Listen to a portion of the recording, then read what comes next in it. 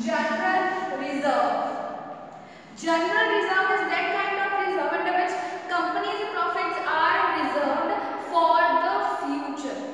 Fine. If in future any condition arises or situation arises that company needs a fund, then they can use the amount from the general reserve.